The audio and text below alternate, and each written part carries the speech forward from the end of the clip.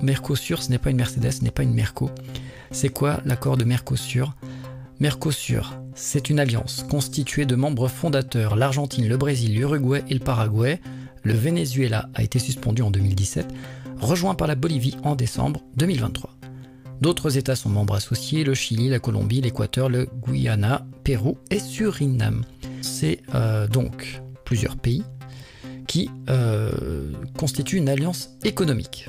Libre circulation des biens et des services, établissement d'un tarif extérieur commun et adoption d'une politique commerciale commune vis-à-vis des États tiers, et coordination des politiques macroéconomiques. Alors en quoi ça nous concerne?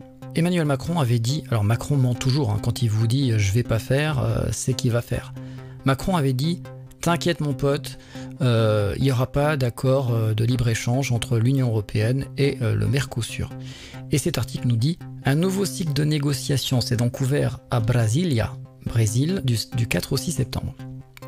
S'il était signé, cet accord permettrait par exemple d'importer 99 000 tonnes de viande bovine de plus qu'aujourd'hui, avec un droit de douane réduit.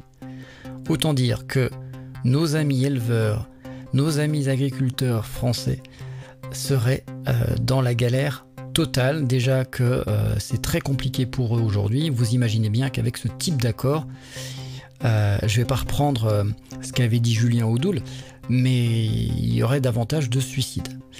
Il s'agirait aussi d'importer plus de soja ou d'éthanol tiré de la canne à sucre. Alors, c'est-à-dire que il n'y a pas que la viande qui serait concernée, il y aurait aussi des céréales et euh, bah, de l'éthanol hein, pour rouler euh, et pour se faire rouler encore plus que d'habitude.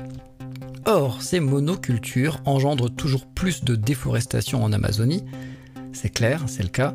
Je vous invite à le regarder. Il ne faut pas toujours se battre contre, contre l'écologie, l'environnement. Il faut savoir faire le lien